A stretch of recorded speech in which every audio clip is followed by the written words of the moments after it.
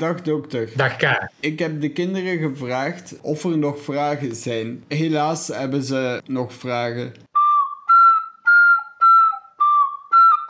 Eerste vraag, hoe is het? Hoe is het? Dat zijn drie vragen. Hoe is en t? Wel, daar kan ik drie antwoorden op geven. Hoe is goed, is is hoe en het is is. Dat is duidelijk. Duidelijker kan niet. Volgende vraag, was de maanlanding fake? Was Capricorn 1 dan echt? Capricorn 1 was zeker echt. Maar de maanlanding was fake.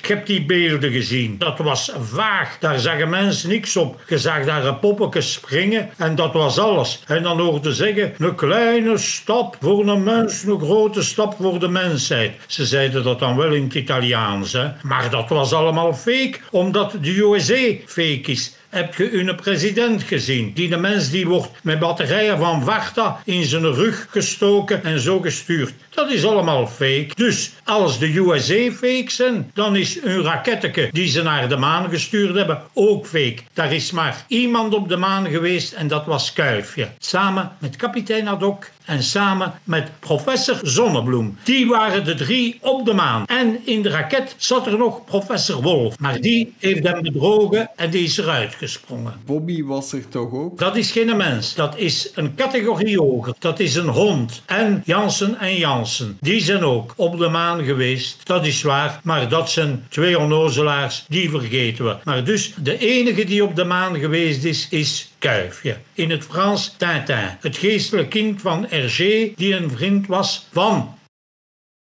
zijn uitgever. Dat heb ik niet gezegd. Oké, volgende vraag. Wat is umami en hoe verschilt het van onani? Onani. Umami is een smaak die men in de mond heeft. Onani is sperma die in de mond komt. Als men het sperma proeft, dan heeft men umami door onani. Dat is duidelijk. Wat is uw mening over ABBA? Abba, abba, money, money, money. Die zouden beter stoppen. Dat zijn vier grijsaards die nog een keer een platenrug willen uitbrengen. Ja, ze hebben Waterloo gewonnen. Ja, Napoleon heeft verloren en ze hebben Waterloo gewonnen. Maar wat dat zij zingen, dat is geen Engels. Dat zou hetzelfde zijn dat een Marokkaan Vlaams zou zingen. Engelstaligen, die lachen daarmee. En het is daarom dat ABBA eigenlijk nooit doorgebroken is in de Engelstalige gebieden. Maar wel in Holland. Want daar denken ze dat alles wat geen Frans is, Engels is. Een jonge kijker wilt weten wie uw favoriete filosoof is. Mijn favoriete filosoof is Dr. Joseph. De mijne ook. Ik heb genoeg aan mijn eigen. Ik ben een filos, een vriend van mijn Sophie, van mijn reden. De tweede filosoof die ik natuurlijk zeer respecteer is de eer Edward van de Wallen, die beter gekend is onder zijn pseudoniem Eddie Wally. The Voice of Europe. Hij heeft een quote gelanceerd waar een mens moet over nadenken. Ik spring uit een vliegmachine. Als men daar goed over nadenkt, ziet men dat deze ogenschijnlijk gewone zin existentiële vragen stelt. Ik, dat is zijn ego, spring. Hij springt, maar heeft hij een valscherm aan uit een vliegmachine? Vliegt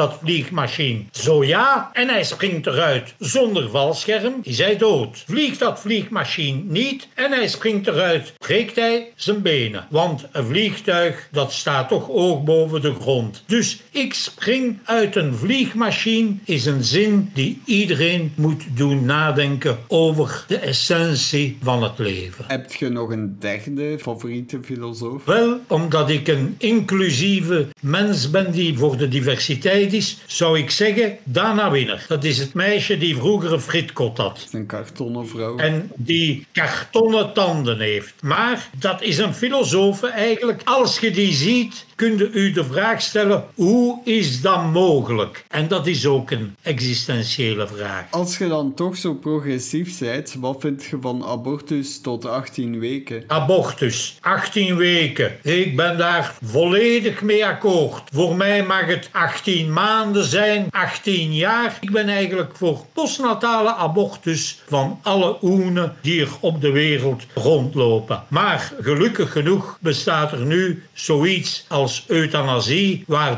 pekes en douw mekes in de woonzorgcentra, vroeger heette dat pekeshuizen, waar die een krijgen en waar er een postnatale abortus op hen gepleegd wordt. Maar langs de andere kant, in deze tijden waar de anticonceptie toegankelijk is voor iedereen, kost bijna niks, je hoeft geen caoutchouc over uw lul te trekken, je kunt gewoon een pilletje nemen voor een vrouw en dan geraakt je in verwachting. Dus is abortus de meest inhumane, bloederige en achterlijke manier van aan geboortebeperking te doen. Dank u. Laatste vraag. Wat is economie en waarom is Latijn beter? Latijn is beter omdat economie minder goed is. Want met Latijn kun je met de paus spreken, maar de paus die weet niks af van economie. Julius Caesar, wel, als je Latijn kent, kun je met die een klapje doen. Komt moet Julius Caesar en je kent alleen economie en weet daar niks van. Dan staat je daar met je mond vol tanden. Laten we stellen, Latijn is altijd beter dan economie, maar economie is beter dan onanie. Dank u wel voor deze les. De volgende keer leren we u met de politie spreken. Met de politie wordt er niet gesproken. Daar wordt op geklopt. Maar dan moet je zien dat je rappe benen hebt. Of anders hebben ze u te stekken en dan smijten ze u uit de vliegmachine.